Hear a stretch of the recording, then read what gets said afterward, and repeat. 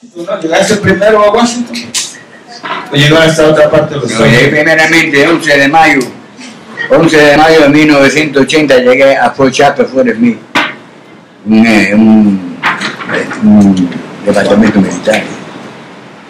Estuve ahí hasta, hasta junio y ahí, pues vine de ahí, vine directamente para Washington.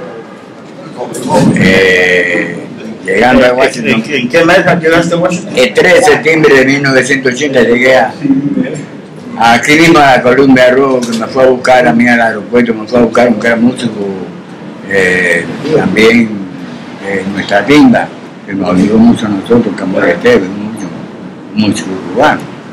Y fuimos reclamados por un, por un gran puertorriqueño, José López, militar, eh, ya nosotros en Fochafe, nosotros ya en Fochafe cuando llegamos, armamos el grupo con cajones, ¿no? Eh, no había más nada, cuando aquello no había tambores todavía. Yo, yo, yo desde que llegué allí dije, bueno, pues no hay más nada, que hay que hacer más a meter timba, porque no hay más nada.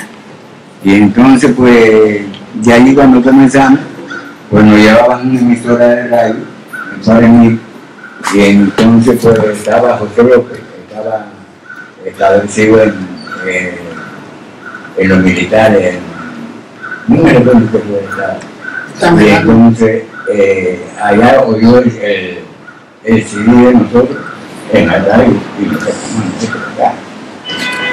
Y venimos para acá, eh, eh, vinimos para acá. Bueno, el grupo eh, se, se llamaba en aquello Cuban Foro 80, allá en Sochazo. Ya cuando llegamos aquí, se le puso Cubatá. Que Cuba- Cubatá. Cubatá se- ajá, que lo dirigió Roberto Borrell, que era músico cubano también, en uno de Cuba, sobre todo de cubano. Y después, bueno, participamos en, en las actividades aquí como la misión, eh, hay un espectáculo de congreso, en fin, muchas actividades.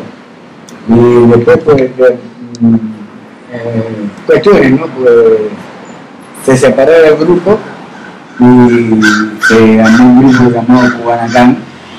En Cubanacán, pues entonces ahí seguí yo con mi, con mis composiciones mi canto. Yo soy eh, cantante y compositor de los cuatro grupos que yo tengo sin hecho.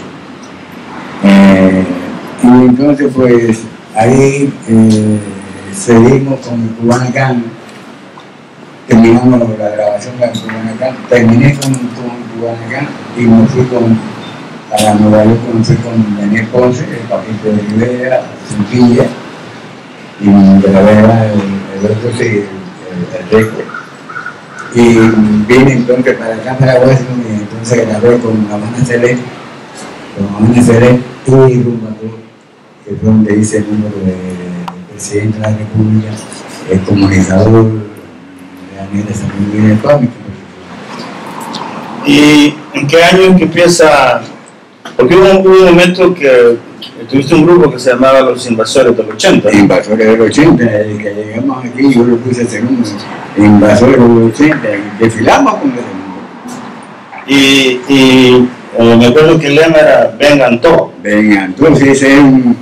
Porque, eh, eh, cuando uno es músico, se siente de la calle, como somos nosotros, ¿no? Pues hay que decir vengan todos, porque eh, de cualquier esquina te sale un músico. Exacto. Y ustedes fueron que los que como que cambiaron pues el ritmo de, de, de- de la Colombia Rock, ¿no? Sí, le pusimos gozar, ¿verdad? Eh, y ahora, ahora le vamos a hacer un par de preguntas a alguien que fue testigo de, de todo esto, Rafael Cepeda. Eh, si nos podrías hablar un poco de, de tus recuerdos pues, cuando, cuando empezó la, la rumba en el, en el barrio, porque tú también eres de acá, así que nos podrías contar tu, tu, tu propia memoria pues, de, de los entonces. te digo algo de, de Francisco Rigores, entonces, embaja- embajador. Entonces yo fui que lo presenté a un club que era bien famoso en la época de los 80. Eh, Francisco me había preguntado a mí si podía presentar el grupo, que era como un debut que se estaba haciendo. Y entonces yo creo que eso fue en 1981.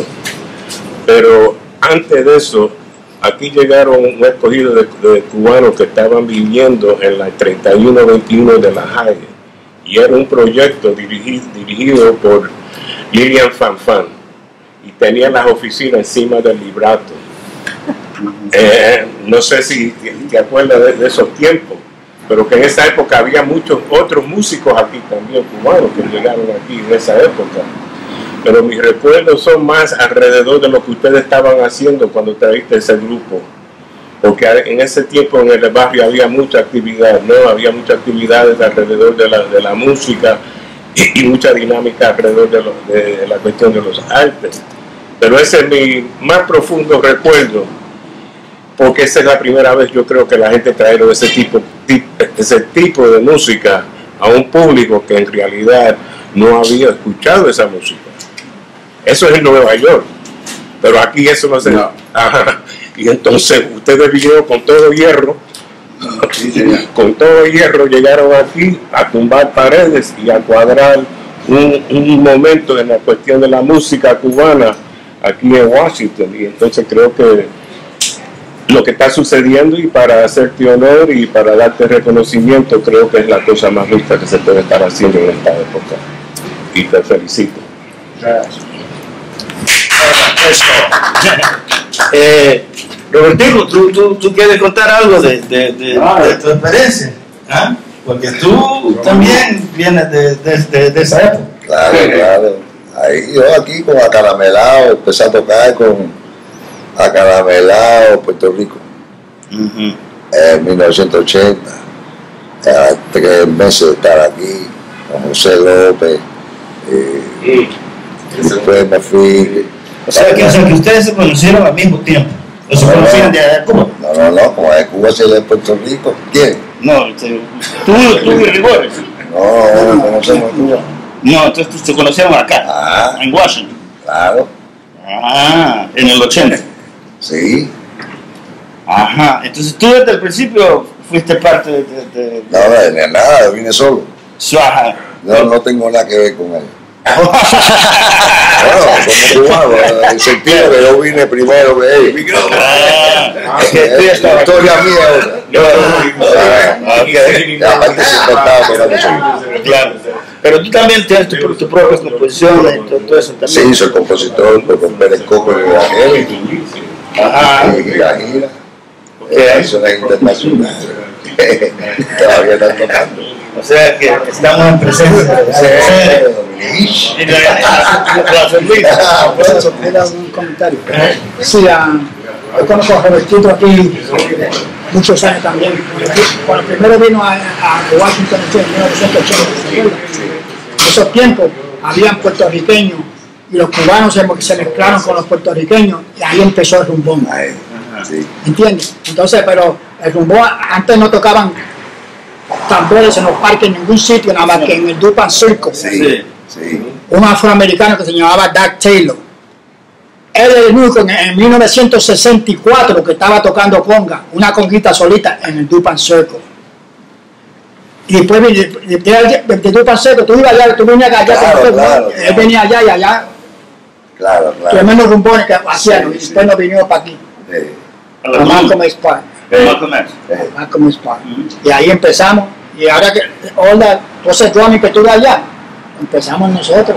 Sí, sí. Pero ahora nosotros se puso tan grande que nosotros nos separamos.